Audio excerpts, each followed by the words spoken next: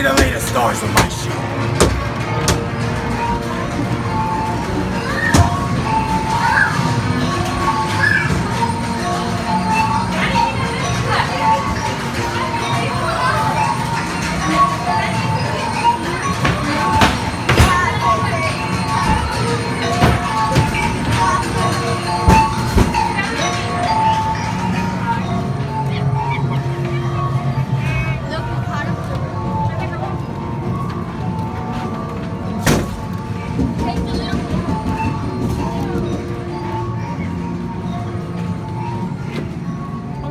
Thank you.